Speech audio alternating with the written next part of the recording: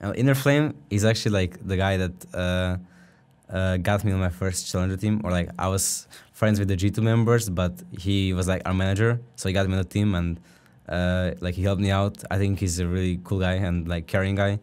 Uh, so he was definitely like a good, like an, like an older brother to me at that time. So yeah, I, I like InnerFlame. I don't know how is the transition itself um, that you have to ask Carlos, but uh, Gamers 2 just sounded so awful. No, that's what Carlos says. Like, what the fuck is Gamers 2? so he just named it to G2 Esports, which sounds oh, G2 Esports sounds cool, even though I don't know what the fuck is G2 Esports. but uh, uh, I think the G2 as an organization has grown so much. Like they uh, learn from their mistakes, they learn from other teams' mistakes, so they don't have to make those mistakes, and they just care about their players and they have good business too. And they're, I think G2 just a really good rising org right now.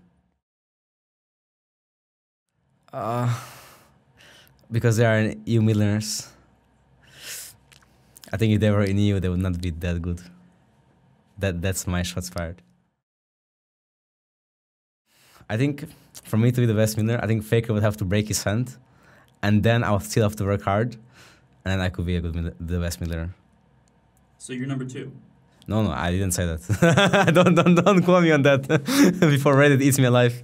Um, I, I, think um, I have to work on my patience still, trying to play more patient and controlled. I'm working on it hard and it's working. So I have to just find the balance between playing really aggressive and really controlled when I have to. That's something I have to work on because right now I'm I think really good at every aspect.